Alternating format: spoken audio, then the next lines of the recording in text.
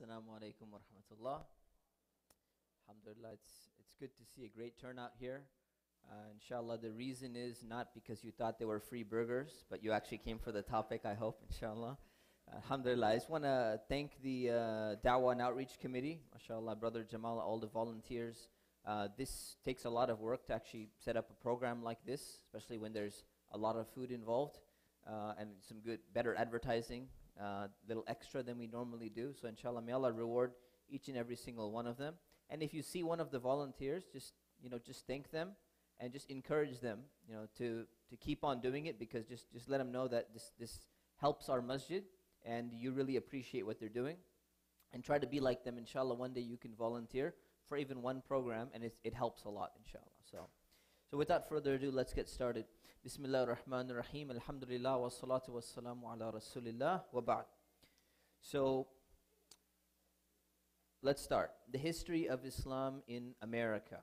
First of all, why do we care about this? Right? Why should we care about this? The first reason why we should care is because most Americans have been taught a myth. And that myth is that Columbus discovered America and that Muslims primarily arrived around 1965 and after, so they're newcomers to this country. Now, how many of you, uh, is anyone, did anyone here arrive in America before 1965? Anybody? There's not a single person. Do you know personally anyone who's a Muslim that arrived prior to 1965? Okay. So you have some people that are not African American or white. You still know some. Okay, good. Alhamdulillah. All right. So most people don't, but quite we got quite a few in the audience. So this is important. We need to deconstruct these two myths that exist. Now let's take a look. This is something which most people learn. So this is a textbook called American History: A Survey. This is the 1987 edition. It's been somewhat updated a little bit, but just read what this says. This book is one of the most common AP US history textbooks. Who took AP US history in class? A few of you? AP US history? Okay, me too. So that's one textbook that's being taught. The second place that this book is being taught is in universities around the country. This is the fourth most popular textbook in universities across America. Now just look at what it says. It says in the beginning, for thousands of centuries, the continents we know as the Americas stood empty of mankind and its works. The story of this new world is the story of a creation of a civilization where none existed. There was no civilization that existed according to this textbook. This was just like an empty and uninhabited land, maybe a few savage people roaming around, and somehow you know, Columbus came and, and discovered everything. The problem with that is that it's false, and that there's a lot of evidence that it's false. So there have been civilizations living in America, flourishing in these Americas, north and south, for over 10,000 years. People have lived in America, they have settled in the Americas, both people who we think are native and people who came from different places, not only Muslims, but many different generations, many different communities and they built great civilizations. And they left behind lots of ruins of the civilizations that they built. So the problem is, this idea that Colum Columbus discovered America is still taught quite widely. Because we're in California, we're a little bit more liberal of a community. Textbooks are changing quite a bit, and they're saying a little bit different narrative about Columbus, but then the Muslim narrative is not very strong in there. So the problem is that from European eyes, Columbus discovered America because you can't discover a country that's actually inhabited by people. If you walk into someone's home and you break down the door and you kill everyone and then you say, I discovered this house. You can't say you discovered the house. You can say you conquered and dominated the house, but you can't say you discovered it. So the reality is, in 1492, Columbus was discovered. Okay, that's what really happened. It's the other way around, right? And it's important to understand that because if you look at a world map, now we have to understand history, okay? So Columbus is sailing from here. This is Europe over here. And he's sailing over here to the Americas. Now what's going on is he sails this way, and when he gets here, he thinks he's going to India and he thinks he landed in India over here. Okay? It doesn't take a very intelligent person to figure out that India is all the way on the other side over here. So he's very, very far. He's completely lost. He's on the other side of the earth. Right? So that's why he called the people Indians, because he thought that he had arrived in India. So that's it's pretty uh, it's pretty problematic that we're being taught this narrative on a regular basis. So it's important, number one, for us to know the truth. And that's what we want to learn as Muslims and just as people. That's the number one reason why we care about this history. The number two reason why we care about this history is because many people are born in the United States and they identify first as Americans. You can identify simultaneously, like Dr. Tariq Ramadan, may Allah liberate him as he says, you can be 100% American and 100% Egyptian at the same time. Some people want to do that, that's fine. Other people, they say, look, I'm actually more American than I am Egyptian. I'm more American than I am Pakistani. I'm more American than I am uh, Syrian or whatever it may be, right? So what's happening is that those people who grow up in this country, those Muslims who grew up in this country, they are pressured to give so much priority to the culture in which they come from that they feel that there's this discomfort of being identified internally as an American, even though you speak English as your first language, you dream in English. Most of the people you associate with are Americans. Maybe you don't even speak another language besides English. Maybe you don't speak another language besides English. But somehow the culture is given more precedence than the religion of Islam. And that's problematic. And sometimes people get criticized for being too American, right? You've heard that, right? You become too Americanized. Something's wrong with you. You know, what's going on with you? You can say you have bad character or bad akhlaq. That's not about being Americanized. Many people in different parts of the world have bad character. It's not a characteristic of being an American. So it's important for people that they feel confident in their American identity whether that's a 100% 100% identity or it's a American first parents are from the back home country identity however you want to identify that so that's reason number 2 reason number 3 we want to study this is that it has to do with your self-image since September 11th if you're Muslim people have probably at least come up to you or maybe come up to your friend or something like that and says hey where are you from and this is not the where are you from because I'm from there. Cool, we both speak Arabic or we both speak Urdu. This is the where are you from, like you're not really American.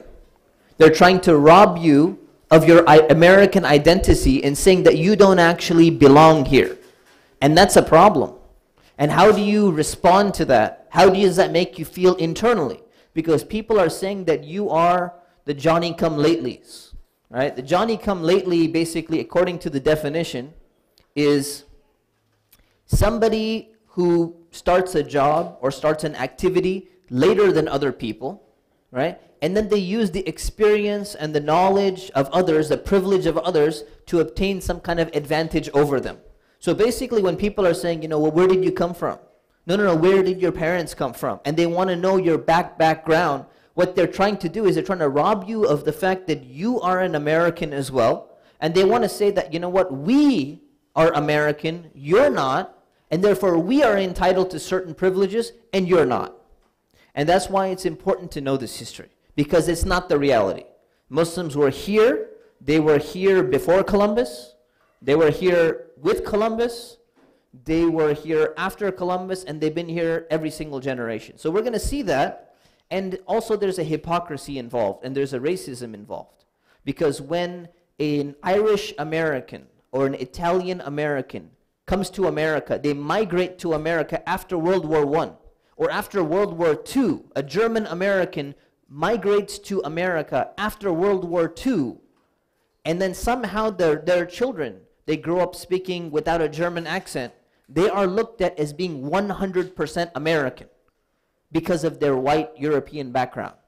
But if someone has a different complexion, they're going to say, Where are you from?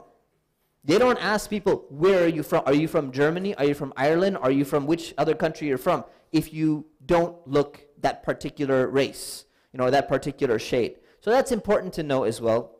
And lastly, we want to know this so we can understand and contextualize the present situation in which we're in. Why is Islam in America today the way it is? How much time have we had to develop institutions? How much resources have we had?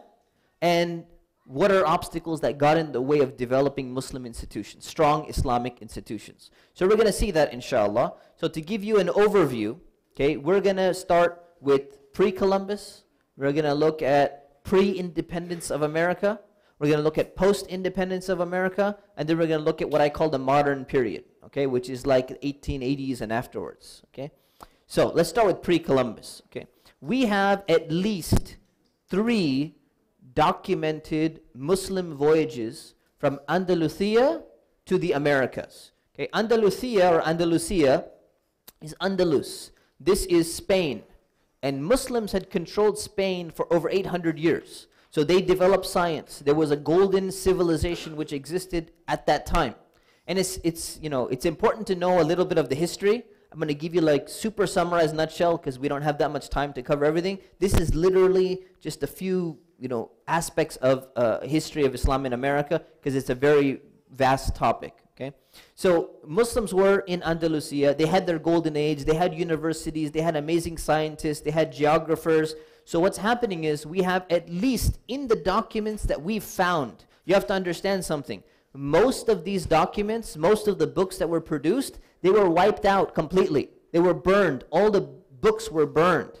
So we're talking about the remnants of the books that we have with us. We have a documentation of at least three voyages. One of them is by a scholar by the name of Abu Hassan Ali al-Mas'udi. He's a very famous scholar. He's well known. He died in the year 957.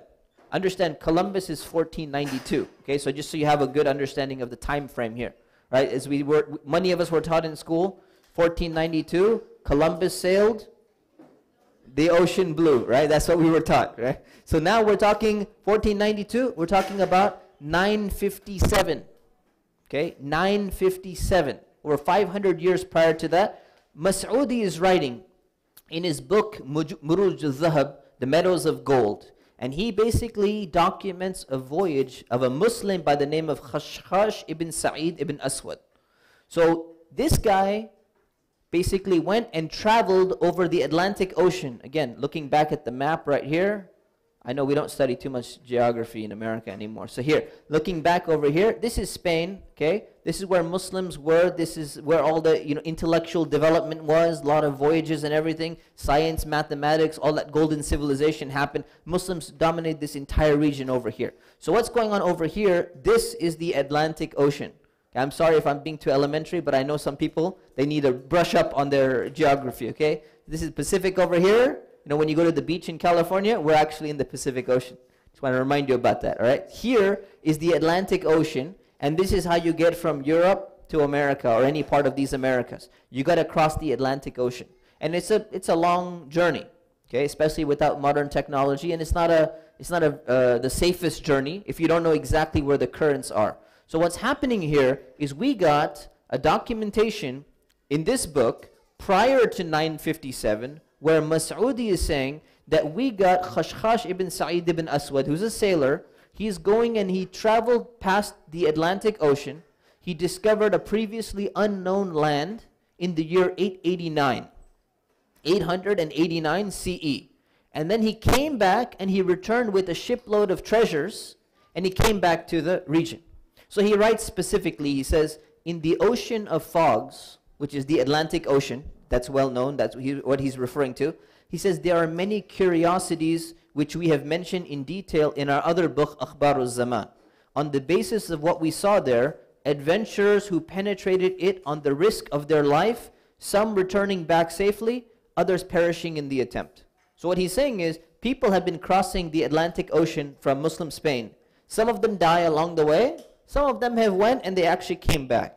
And he says there was a certain inhabitant of the city of Cordoba, okay, Cordoba, he, it, which was in Spain. He says his name was Khashkhash by name. He assembled a group of young men, young men, his co-citizens, and he went on a voyage on this ocean. He traveled along, and after a long time he went, he returned back with a bunch of gold and valuables. And then he said, every Spanish, every Spaniard knows this history. Meaning, like, this is so well documented, we don't even need to go in detail because every Muslim in Spain at the time Al Mas'udi is writing, because everybody knows this. Everyone knows the details about it, so we don't need to go into it. What happens, of course, thousand years later, we don't know the story very well. So now you're like, oh, I wish he would have given us more details. But he's like, there's no need to mention it. Everybody knows this, except he didn't think that you know our history would be completely wiped away. So he didn't write more details. So that's one journey. Documented evidence, that's there. Second evidence, there was a scholar by the name of Ibn Farouk. He, he mentioned uh, in 999 he landed in the Caribbean and he actually came back. We won't go into that in detail, but the, the third documented evidence that we have is Al-Idrisi. Okay? Muhammad al-Idrisi is a very famous Muslim scholar as well. He died in the year 1165. So he was living in Sicily. And what happened was later on in Muslim Spain, there was some turbulence, there was some wars going on. So he decided, you know what? I'm going to go and work in Sicily right now under a Christian king and do my research and science because there's some problem going on during his time. So he was working there and he's Muslim and in the year 1154, he produces this map. And this map was the most accurate map of the entire world in pre modern times. No one has rivaled his map anywhere in any civilization in terms of its accuracy uh, during its time or even two centuries later. It took them at least 200 years to get to where Al Idrisi was actually writing. So he was an inspiration for Christopher Columbus, for Vasco da Gama, for all of these people to develop their maps. There's something interesting about his map, though, by the way. What is one thing you notice that's something is strange about it, outside of you know Africa being long and all that? Look at the top of it. See the top? The text is upside down. That's because this map, I'm showing the map to you upside down. So for Idrisi, Africa was on the top and South and South and Europe and Asia, it's on the bottom. Their map was flipped. And I know you would like find it weird and confusing, so I flipped it for you and I made it upside down for you. His actual map was the other way around. That's the way people used to view the world. We're so used to viewing the world as North America being north and up on the top, and South America being down on the bottom. It's actually flipped. Muslims looked at it on a flipped way because on what basis do you say it should be like this or like this? It's the same thing. You know, how do you know it should be this way or that way? There's no, it just depends on your angle on which you're viewing it, right? So this is the way they used to view things. So anyways, he writes that that he writes about the details. He says there were eight Muslims who sailed from Lisbon. Anyone know where Lisbon is? Portugal. Okay, Lisbon, Portugal, which is right over here, corner of Spain. It's part, part of the uh, Iberian Peninsula, which is greater part of Spain. And he said there eight Muslims sailed from Lisbon. They went westward for 31 days. They arrived on an unknown island and they were captured by the natives of that place for three days. They were captured for three days. Okay. And what happened? After three days, a translator arrived who could translate Arabic for them so they can actually understand what's being said. The translator translated the Arabic, arranged for their release, and finally they said, you know what, okay, we're going to let you go. We're going to send you back home. And what happened after that? They continued to journey to the same region, and they had contact between these two groups. Now here's the interesting thing. What is an Arabic translator doing in the Americas?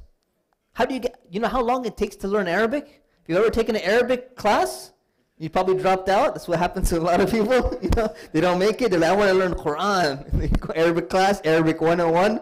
That's it. By week five, you're out. Right? So that happens to a lot of people. A fully conversant Arabic speaker translating for them, they went and found one and they brought him over. What does that mean? That means that contact between these two regions has been sustained for a very long period of time, such that there are people living there who know the Arabic language. And this is all documented. These are books, you can go and find them, and you can read them. Okay? So that, those are the three voyages that we know about, specifically documented from Andalusia, or Andalus, which is Muslim Spain. Then we go and we move on to the Mandinka voyages. Okay, so the Mandinka are a specific group of people from Africa They're from the west side of Africa. Today is like modern day Mali and some of the surrounding areas.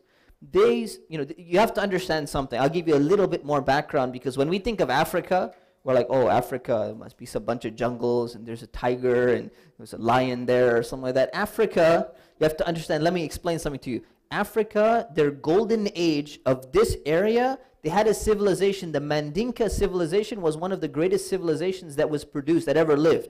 They had, in a city known as Timbuktu, they had three major Islamic universities. One of them was known as the Sankore Madrasa or Sankore Madrasa. This is a very prominent Islamic institution where scholars would come from all around the world to study. To put it this way, during its time in the 14th century and, and a little bit before that, they were golden age of their civilization. The only library that could have rivaled the library in Timbuktu was the Library of Alexandria, but it had already gone down in prominence. So this was one of the largest libraries in the entire world sitting in Africa.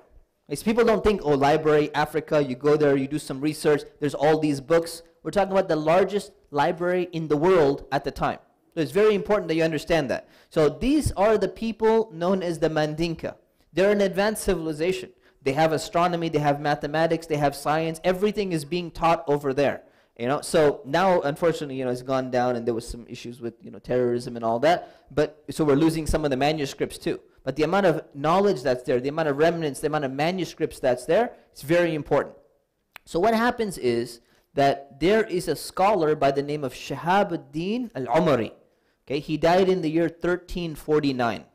Now he's not from the Mandinka. This is an Arab scholar. Okay, he's from like Greater Syria or something. He goes and he is in Egypt at the time. And Egypt is also a center of learning. There's a great civilization. What happens is there is the leader of the Mandinka in Africa at this time. His name is Mansa Musa. Okay, Mansa means like Khalifa or like the king or the Khan, you know, like the great leader basically. So Mansa Musa, this is supposedly this guy in the picture here.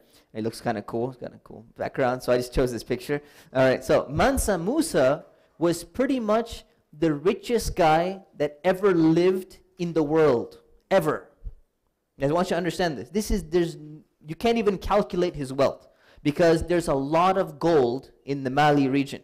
So they mined so much gold, and this was such a powerful civilization. He was the head of the civilization at the time. So Mansa Musa decides to go for Hajj because he's a Muslim. Hajj is a long ways away. From West Africa, you're going to travel all the way. So the Mansa Musa decides, you know what? We're going to take a bunch of people, we're going to make a giant caravan, and we're going to load up a lot of gold on our camels, and we're going to spend the gold along the way while we're moving through the Muslim lands. It's going to be able to help everyone. Because he's got so much gold. He's got so much gold. Nobody else has this much gold. So he decides, he starts going and he starts spending all, and everyone writes about Mansa Musa. Every city he goes through, there's so many people, camel loads just full of gold, and he's just spending and he's giving and helping people and everything. So when he goes and performs his Hajj, he's on his way back and he's coming into Egypt, and Shahabuddin al Umari meets him and he starts to talk to him. And he says, You know, we, we want to know what's going on, right? So he, he you know, I want to know a little bit about your history. I'm a historian. I would like to document something. So he interviews him. So keep in mind, when Mansa Musa was in Egypt, just he was traveling back from Hajj through Egypt, Shihabuddin Umari, he wrote that he spent so much gold in Egypt that the value of gold decreased for 10 years after Mansa Musa passed through Egypt. I mean, 10 years because the more you have one product spreading, the demand, you know, supply and demand, right? Simple economics. So now the value has, you know, gone down. So it took 10 years for the value to recover. That's how much gold he spent. So he's, he's interviewing him. And basically what he says is, for the sake of time, I'm going to summarize it. He says, my elder brother, he says, like, how did you come into power? He said, my elder brother, his name was Abu Bakari, eh, Abu Bakr, Abu Bakri. My elder brother was supposed to be the king. He was the king. He was the Mansa of the time. And what happened was, is that he told some people to sail across the Atlantic and he wanted to go and explore towards the west. And again, the West Africa, it's a little bit south of Spain. They can easily go through the currents that are coming on the Atlantic Ocean heading towards the Americas. So he said, I wanted, I wanted someone to sail over there. I sent an expedition. One of them came back, reported in, and he said, I want to go and I want to see this thing for myself. So he goes, his brother, who's the Mansa, who's the head of the Mandinka civilization at the golden age of their time, he says he went and he took one expedition, second expedition, they came in two expeditions, you combine the number of ships, 2,400 ships cross the Atlantic. Okay? Think about that. Columbus is sailing with three. Okay? So 2,400 ship. This is huge. This is massive. So he goes and he sails across, but he said, but he never came back. He never returned. And we don't know what happened to him. And I'm going to tell you a little bit later what probably happened to him. But he never came back. So he said, as soon as my brother was gone, I was next in line to become the king. I became the Mansa. Man, I'm the Mansa Musa now, richest guy in the world. Okay, so we're going to talk about his brother in a little bit. So what's happening here is we have another documentation of a voyage coming from this specific region where the Mandinka people are around Mali region. They're sailing across and they're getting to westward land and they're discovering some civilization over there. Okay, so there's that. Now what happens later on is we again we've lost a lot of the records. But what we do have is we have some other documentation, some other evidence that's appearing. So we have inscriptions. So if you go through Brazil, Peru, we have inscriptions from the 14th century in exactly Mandinka ideograms. Ideograms are the symbols that they use to write. It's their language, basically. So these ideograms, they where they're writing a story, they're preserved, and when you date them, they're exactly from the same time that the person, that the Abu Bakari was actually sailing and all the other people were sailing. Meaning that there is very strong evidence for contact between the Mandinka people and the people in the Americas because they left behind these traces that are now being discovered and being studied and being found. And how are you going to get somehow a coincidence that the native people of Brazil or the native people of Peru or whatever other you know country it was, how could they somehow have the exact same language as the people who are in Mali? Just all of a sudden they just you know it's such an awesome language that people just thought about it and they're like, this is how we should draw this exact word. It's not likely to happen. So there's evidence number one. Number two, you have a Native American tribe in South America that uses the same Mandinka ideograms as their form of written communication. How can that be? That can only happen if there was actually contact between these two worlds and they're going and learning this language. The third piece of evidence is you have another tribe in North America. They're using many words that are similar to the Mandinka language. And the fourth thing is you actually have a Central American tribe that has clan names like the word Mandinka. They're called the Mandinga or Mandinka. So how does all of that happen? Right? It only happens if there's sustained contact between the two civilizations. So that's a little bit about pre-Columbus. There's more. There's some documentation of Chinese Muslims arriving in America. There's other documentation. I'm not going to go into all the details because it take too long. Let's move on to pre-independence, okay? So when did America acquire its independence? You shouldn't be doing fireworks if you don't know this date. 1776, right? So pre-independence, prior to that, let's talk about that region. So you got, all right, so you got um, Columbus sailing in 1492. So in 1492, what's happening? There's two things happening. One is Columbus is sailing but the second thing that's happening, we don't want to stare at this guy too long. All right, until I get to him. All right, so people are like, who's this guy? we'll get to it, inshallah. All right, so pre-independence, 1492, Columbus is sailing the ocean blue. It's true, that's when he sailed. But there's something else happening in 1492. So Columbus was actually going and petitioning the leaders of Spain says, I need you to meet, I need you to finance this expedition. We need to go sail across and we need to find a route to, to where? Where is he going? India. So we need to get to India and we need to get around. Why are they going why are they trying to go around and get to India through the other route? Because they used to go from the east. Because it was easy to travel because you have Constantinople and you have the remnants of the Byzantine Empire. But something happened in 1453. Who took over Constantinople? The Muslims, the Ottomans. They took over, the Ottoman Empire took over Constantinople and it turned into Istanbul. Islambul, right? Got renamed later on. So Islambul or Istanbul is now shut off to these Western Christian Europeans who wanted to get to India and you know kind of get into the spice trade and everything else in India, get all the goods and everything. So like, we need to go find another route. So Columbus goes, and Columbus is studying a bunch of maps, and everyone else, like Columbus, they're studying all of these maps. And which kind of maps are they studying? Studying Idrisi's maps. They're studying Muslim maps, and they're looking at Muslim navigational techniques. They're, they've taken the Muslim technology because they're conquering Spain now. It's called what's called the Reconquista. And what happens is that Columbus has been going around asking, hey, you know, can someone finance this expedition? You know, can you go and give us some money? And they didn't have, they didn't want to give him the extra money. Because they said, right now we're at war. We're, we're, we're trying to finish off these Muslims in Spain. So Muslim city after city in Spain has been falling. Muslims have been losing all of their cities. The last city to fall in Spain was Granada. What year did it fall? 1492. And when a city falls, and it's just, I mean, there's a decade long war against Granada. In 1492, Granada is taken over.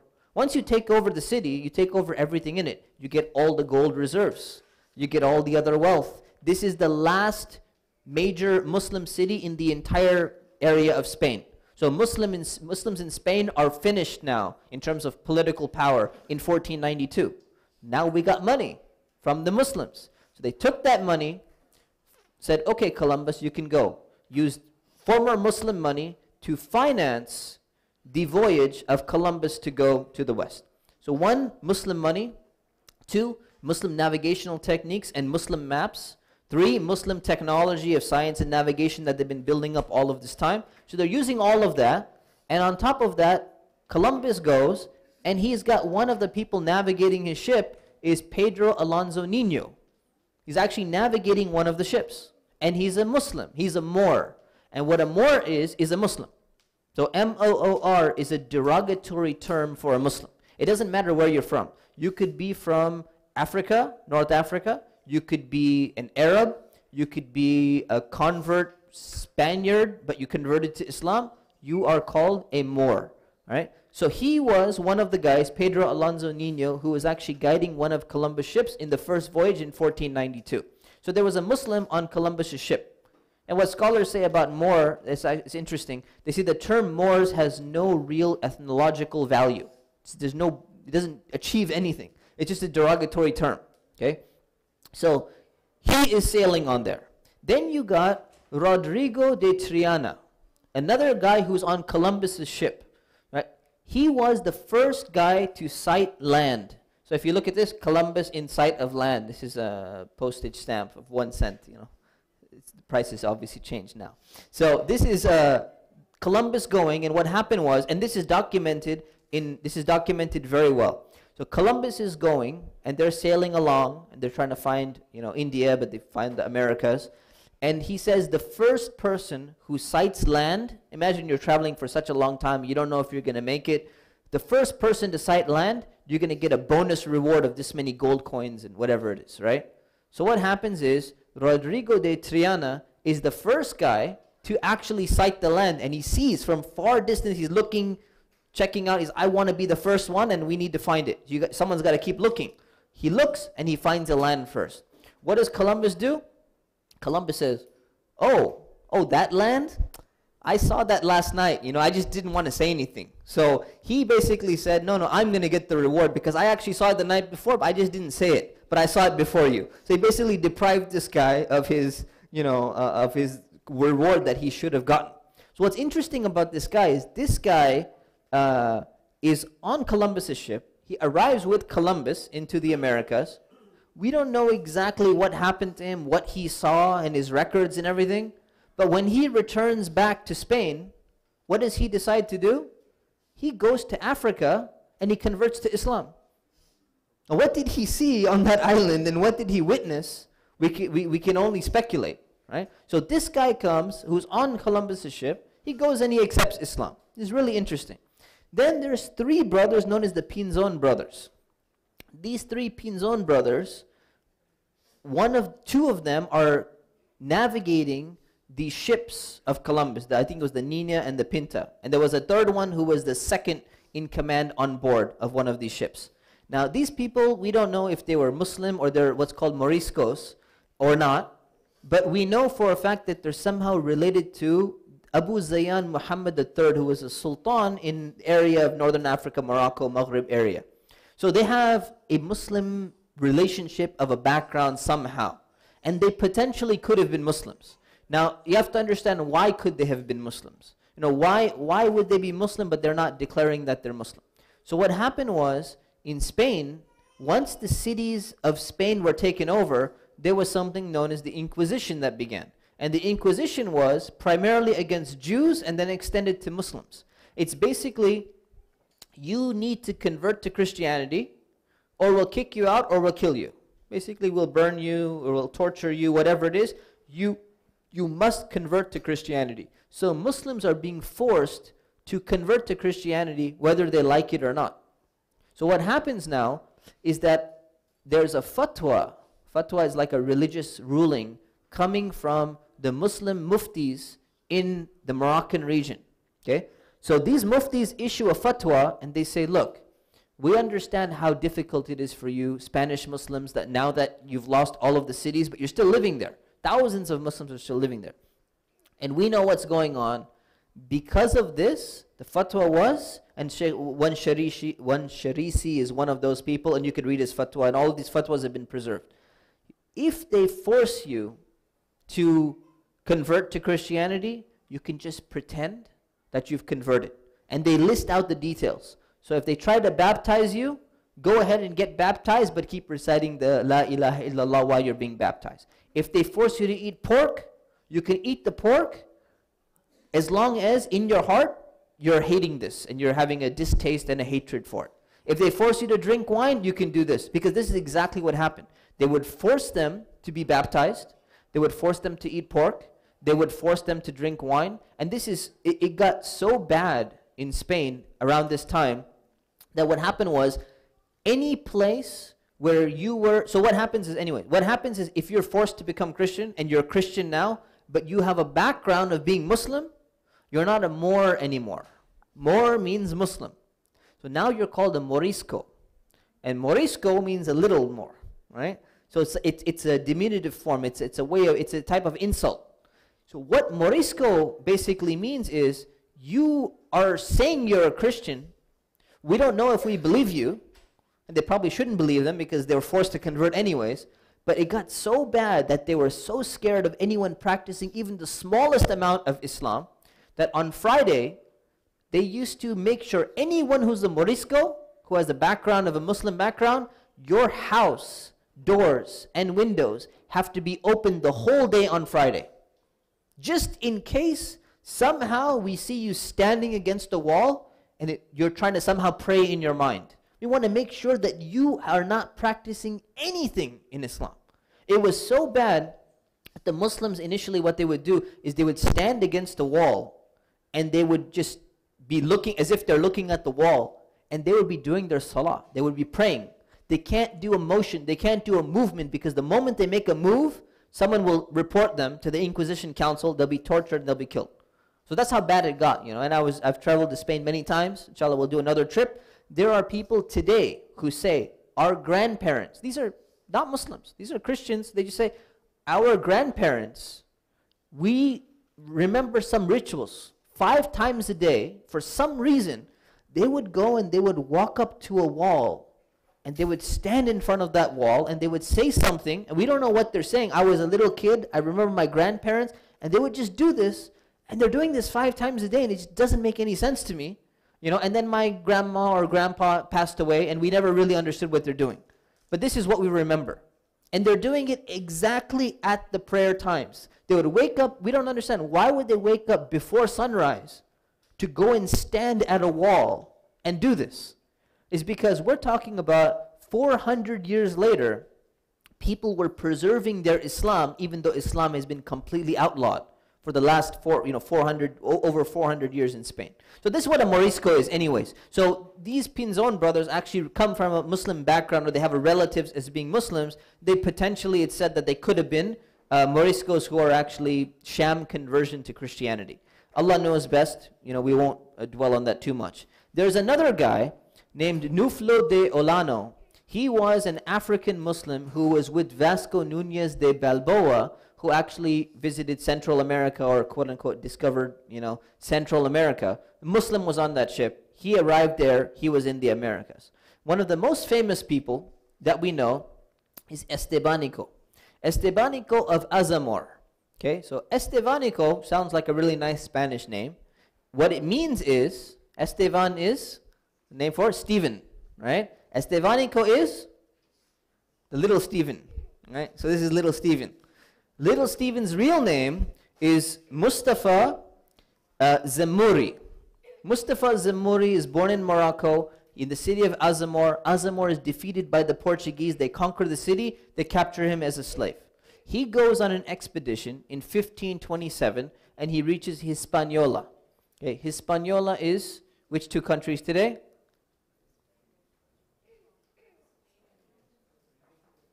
Anybody? Trick question. Well, it's not a trick question. Dominican Republic and Haiti. Awesome. Good. So that's Hispaniola. Okay. So he arrived there, Dominican Republic and Haiti. He gets there in 1527, which is not too far from Florida. So now they're making their way to Florida in 1527. A hurricane comes, destroys most of their ship. Most of the crew is dead. Four people survive.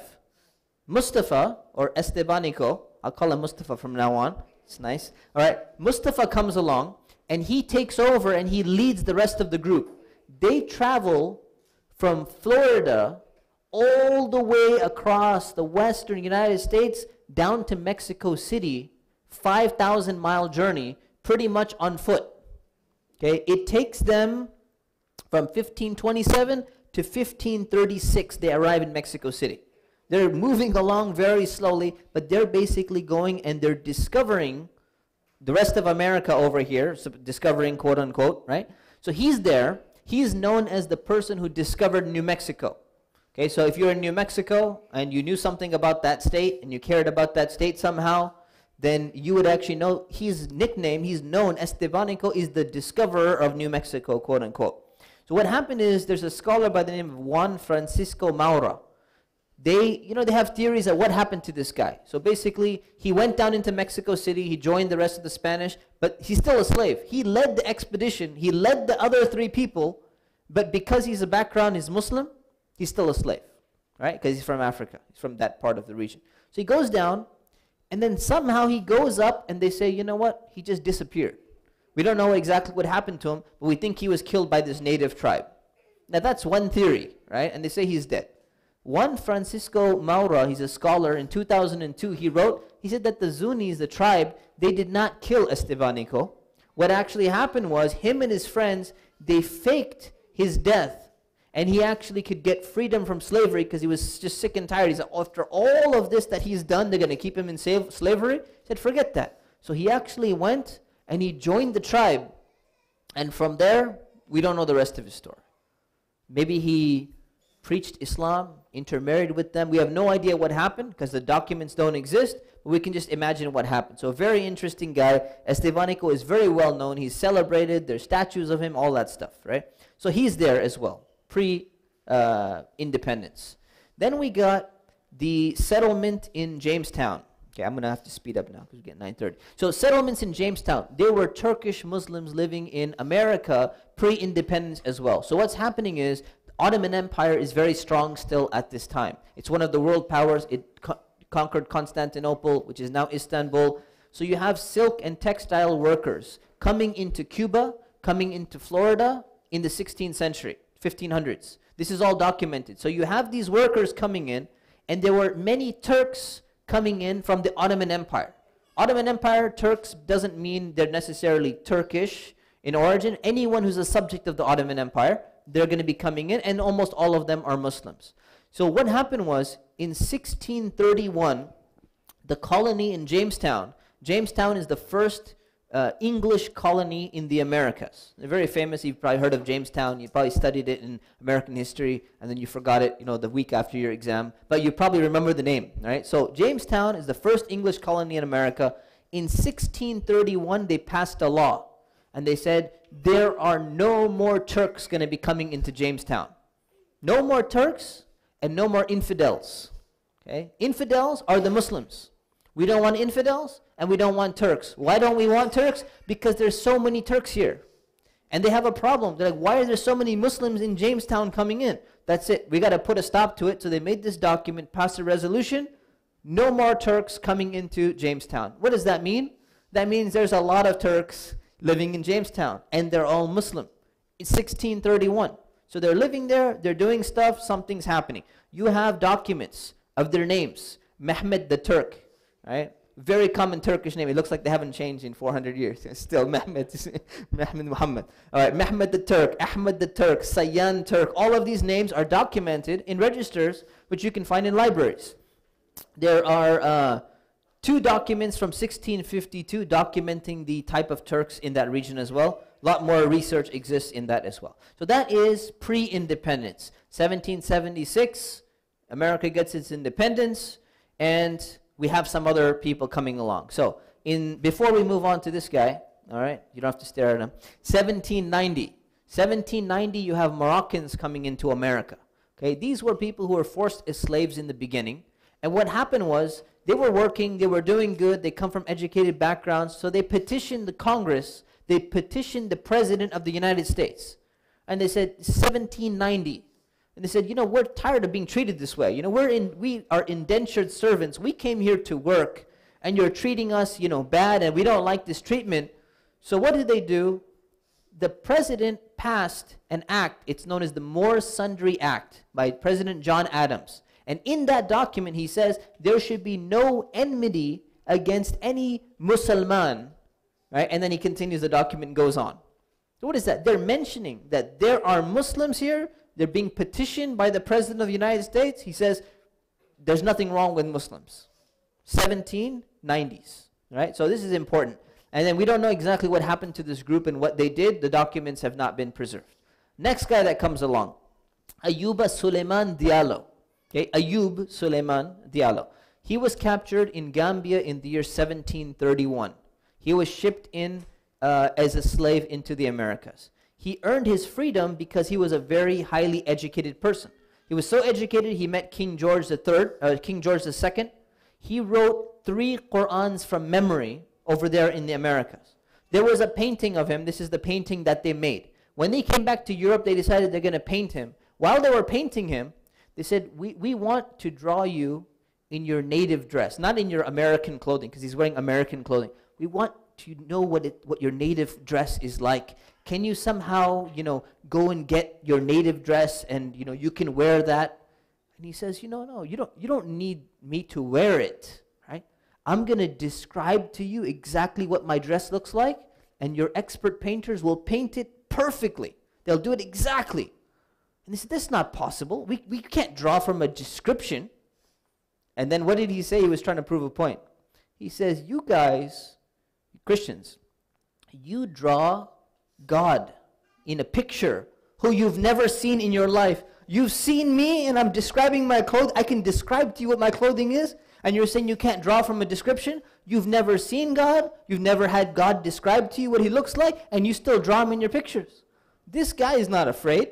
This guy's not looking up to white Europeans saying, oh man, I gotta be careful, I gotta be quiet. This is a person who has self confidence, he has dignity, and these people are role models for us. When we, when we study their history, they're amazing role models. We should really read. There's so much to read, there's so many biographies out there. We're just gonna speed through it real quick though. One day we'll have a seminar on it. This is Abdurrahman Ibrahim ibn Sori. Okay? He was born in 1762, he died in 1829. What's interesting about this guy other than the fact that he looks really cool in that coat, is that he was a prince from Guinea. He's a Fulani. Fulani is a tribe. He's a Fulani prince from Guinea. He's captured in the year 1788 and he's shipped to Mississippi. And he's highly educated. I mean, if you're a prince, princely family coming from this region, highly educated community. So he knew four African languages. He knew Arabic, he knew English. And he got captured somehow. I mean, he studied in Timbuktu. I mentioned Timbuktu, the madrasas, the Islamic universities there. So he studied in Timbuktu, very well versed, very well learned person. So he goes, ends up in Mississippi somehow. While he's in Mississippi, he is a slave. So somehow along the way, he met somebody he knew, visited Africa, Dr. John Cox. Dr. John Cox was an Irish surgeon who actually had visited him, and he was one of the people who helped him learn English. So he goes and he says, What are you doing here in America? You're the prince of the country over there. What are you doing here? Says, I was captured as a slave, and they brought me over here. So he goes to his, his owner, Thomas Foster. It's funny because he owned a farm, so like Foster Farms, you know. So, anyways, so he, he owns a farm, and he goes, Okay. He started referring to him as Prince. He nicknamed him Prince. He goes, Hey, Prince, go do this, go do that. But you know what? Mr. Foster would not let him go. And the Dr. Cox was saying, you need to let this, this is a prince, you can't keep him in slavery. Dr. You know, Thomas Foster didn't like it. He spent 38 years working on a cotton plantation. 38 years. And then finally in 1826, he wrote back to his relatives a letter saying, you know, I need to get out of here. You know, he figured out a way, somehow he knew his relatives. He sent a letter and this is really interesting. So he, while he's sending the letter, one of the local reporters in that area, they got a hold of the letter somehow. They said, whoa, this guy's a prince, and he's living over here in Mississippi. So he goes and he hands it to the senator of Mississippi. Senator of Mississippi looks at it and goes, the heck, what is this? Goes and sends it to like the State Department of America. State Department goes and says, whoa, okay, we need to send this to the U.S. Embassy in, you know, Morocco because they thought he was Moroccan we need to go send this to the U.S. Embassy in Morocco and figure out what's going to happen. So they go and they send it to the U.S. consulate in Morocco. They just assume, they assume that he was a Moor. A Moor meaning like from that region because he wrote his letter in Arabic. And they think, oh, these people don't write Arabic because for them, they're like, oh, they're African. They only know their Fulani language or their Mandinkan language. If you studied in Timbuktu University, you know Arabic. You're a scholar. You know the Quran. They have the Quran memorized. They have hadith memorized. They have all of these things going on for them, right? So what happens now is after the consulate of Morocco, they said, you're not going to keep this prince. Doesn't matter if he's from Morocco or not. This is a prince guy coming from Africa. You need to release him. They sent a letter to the President of the United States. In, in 1828, U.S. President John Quincy Adams and the Secretary of State Henry Clay, they decide that we're going to release him. They go to Mr. Foster. Like, Mr. Foster, you need to let this guy go. Then Mr. Foster, not a very nice guy. Outside of the fact that he calls him Prince, he's not a very nice guy. So he says, okay, the only, um, this is the President of the United States telling you this guy needs to let be let go and he needs to leave. Maybe because he was so good at what he did, he controlled the whole plantation, right? He was a very educated guy. He was very good at what he did.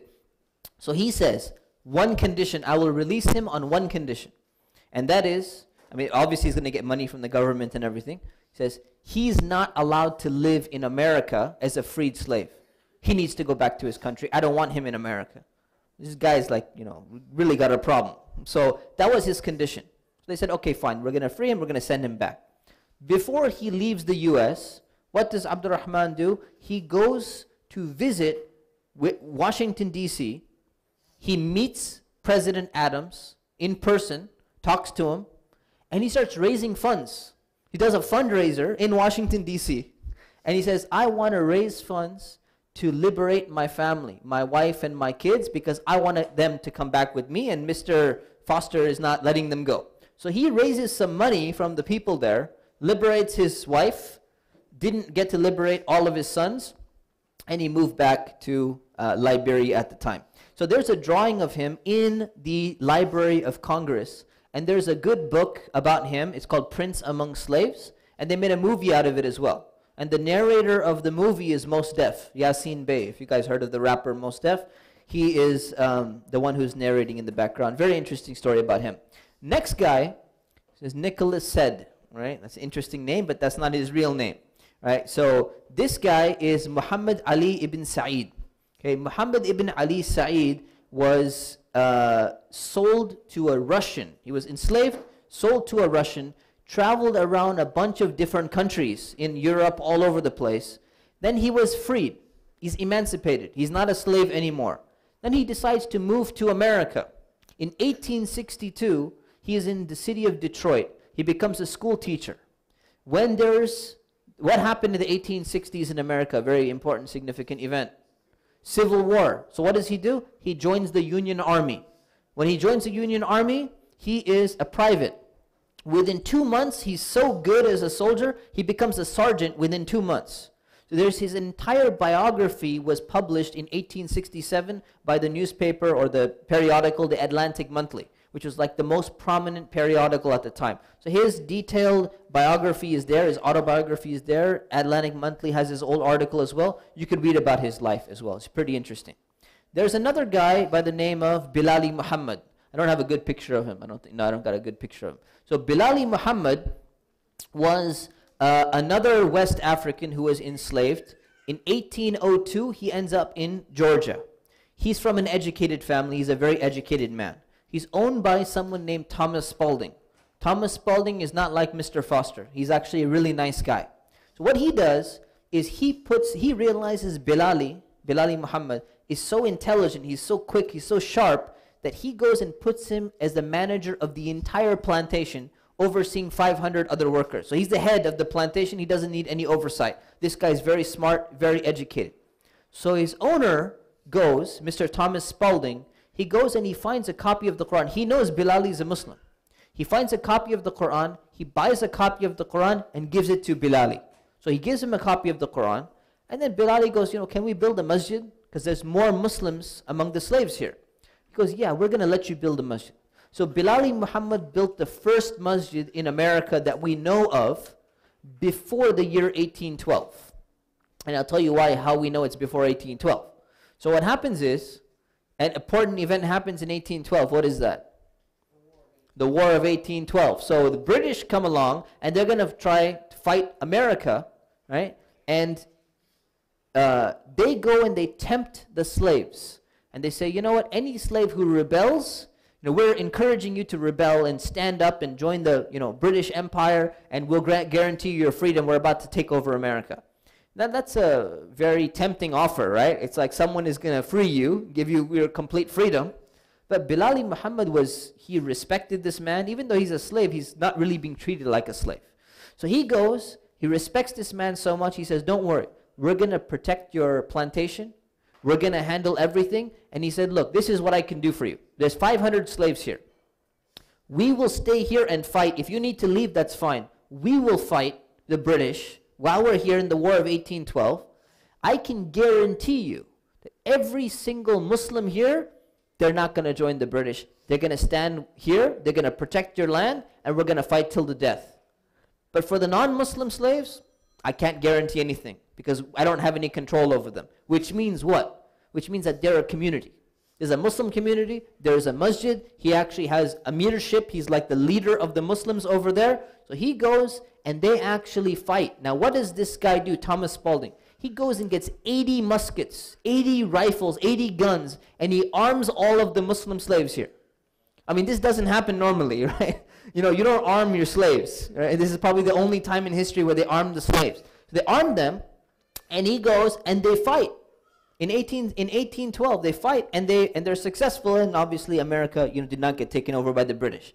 What's interesting afterwards is Bilali Muhammad dies in the year 1857, much later. They found a document in his in his house. It's 13 pages and it's in Arabic. So they figured, oh, this is the diary of Bilali Muhammad. He probably wrote how he was feeling, what he's doing in America, and all that. And then finally, or uh, decades later, someone comes along and they looked at it and they said, wait a minute, this is not an autobiography. This has nothing to do with him. It's actually a work of fiqh. It's a book on Islamic law. It starts out with Islamic beliefs. Then it talks about tahara, how you make wudu and how you make tayammum and all that. Then it goes to salah, it goes to the adhan, it goes through everything. And when they compared it with another book, which is known as the Risala of Imam Abi Zayd al-Qayrawani, which is a Maliki fiqh book which is taught throughout North, you know, North Africa. I mean, I studied in France. It was part of our curriculum as well. This is a book which many people, they're taught and they memorize word for word. He had this book memorized, but when they compared it, they realized this is not an, an exact duplicate. He didn't duplicate the book. He modified the book for his own circumstances, which means what? It means that Bilali Muhammad wrote the first original work of Islam in America at that time in around 1820, 1830, whatever it may be. So this is really interesting. The first Islamic literature that's been produced in America. All right. Then we got a few other people. We got this guy. Okay. This is his name is Hi Jolly, if you can see. All right. That's a pretty funny name, right? Hi Jolly. How are you doing? Right. So Hi Jolly is actually Hajj Ali because he performed Hajj, so he's known as Haji Ali. But the Americans, they're like Hajj, Haji, Haji Ali, Hajj, Hajj, we call you Hi Jolly, all right? That sounds good. That's that's gonna be better. So his name his name becomes Hi Jolly. Right? This was a guy who basically came into America. He was recruited from the Ottoman Empire, and he became the head of the U.S. Army Camel Corps in the year 1856. So the president of America decided, you know what? There's so much desert in America, especially in the West, like where we are. We need a way to transport things on a much cheaper scale and a quick scale, and we need some camels to go to the desert. You know, people make fun of camels and all that. U.S. had a camel corps, right? Camel corps, part of the U.S. Army, led by a Muslim from the Ottoman Empire, all right? So people should just be quiet, right? So camel corps coming along, and he is in charge of this, 1856. He led this in the Southwest. He became a citizen in the year 1880 because he decided to stay. And then he was hired again by the U.S. Army in 1885. He died in the year 1902 in Arizona.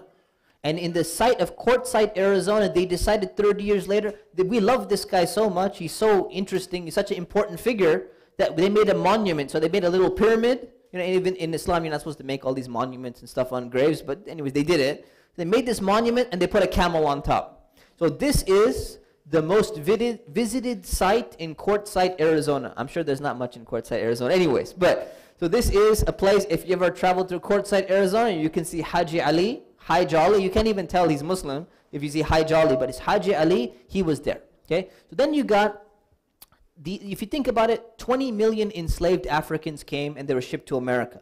It's estimated that between 20 to 30% of these people were Muslims. And what's interesting is many of the Muslims who were enslaved, they were highly educated. In fact, they may have been more educated than the American Southerners who were, you know, these tobacco plantations and sugar plantations. Many of these were so illiterate they couldn't even read or write. The only difference is they're reading and writing in Arabic and in their native language, whereas, you know, the Americans who are there in the plantations and all that, they have a different language. But they're probably more knowledgeable than the other ones. And what we have is we have a bunch of what they consider to be scribblings and documents left. No one could read these things. So they got destroyed. They're like, oh, what is this? Some slave is writing some document. What, who, what does he think he's doing writing? So they just destroy it. So we've lost a lot of that, unfortunately, but there is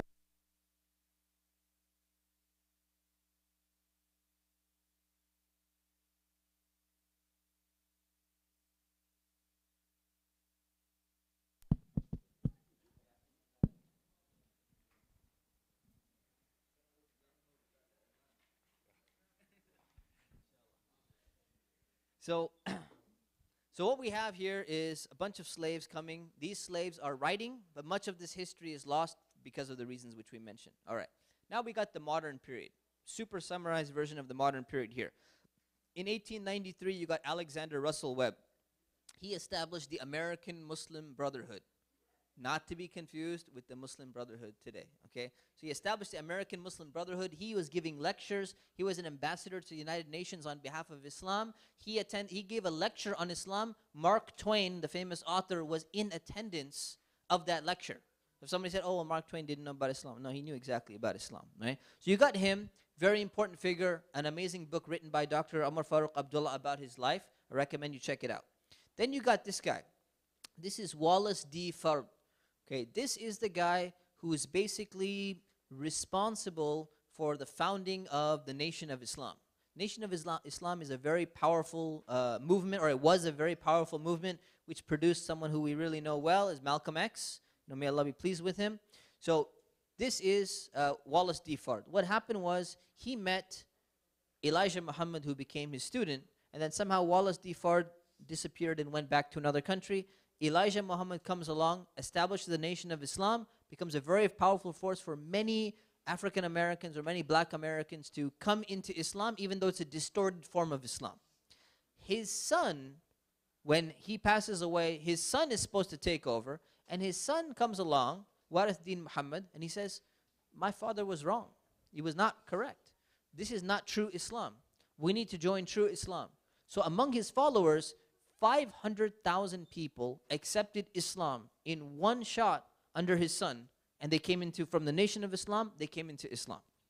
Many people trace their origins back including Malcolm X and many many other figures. So he's an important figure in history okay? Before we conclude there's a bunch of other things you know, short of time. Inshallah one day should we do like a seminar on this like a day seminar? We should do a day seminar okay so it, yeah inshallah inshallah ta'ala. So there's a lot of information there's a lot of good books so i'll recommend more but it's, it's important to know how islam developed. But the last thing i'll mention here is um, in 19, 1924 there was a law that was passed called the national origins act or it's called the asian exclusion act and what happened was, is in 1924, the Americans said, we don't want all these Asians. And when they say Asians, they meant Far East Asians, Japanese, Chinese, workers, and all that. So we don't want these people in our country.